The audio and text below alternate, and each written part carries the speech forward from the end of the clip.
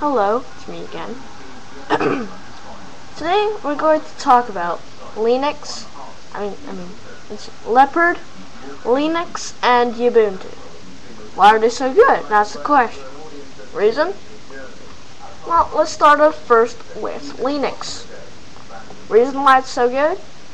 It, if you accidentally delete a file, you can just type in search box what you're looking for, and it immediately pops up and you got you said install it has all your contacts written in there for example if you have Skype that you lost and uh, you gotta just press install and you just have it back on your normal computer and you gotta do whatever you want with it.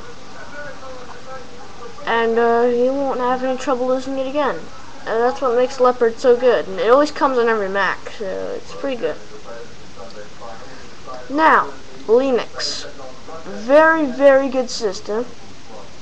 Uh, it all it comes in the Service Pack 2, but Service Pack 1 is kind of better in a way, but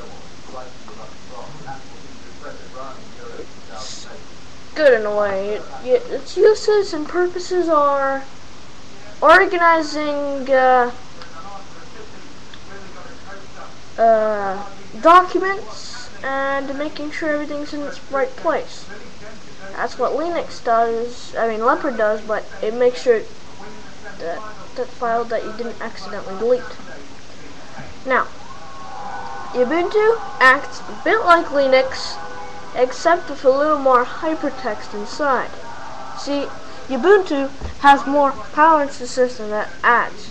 It's uh, a special type of specialist system that's added straight into the computer process.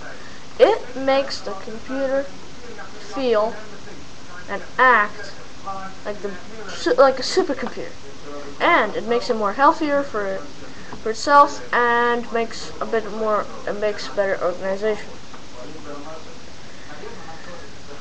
And uh, keeps everything running in order and uh, it won't get everything messed up every 12 5 seconds alright so that's what makes it so good. Well that's all for now. Hope you enjoyed my video. You have any questions? Uh, it says my click on my channel it says my email uh, my Skype name my MSN name if you want to add me to one of your contacts then uh, and you can ask me by my email, Skype, or MSN, chat with me. I'm I'm available 24/7. I'm always online. And uh, uh, if you have any questions, you can also comment on this video and uh, in my chat room as well. Goodbye and have a nice, nice summer. Thanks a lot, everybody.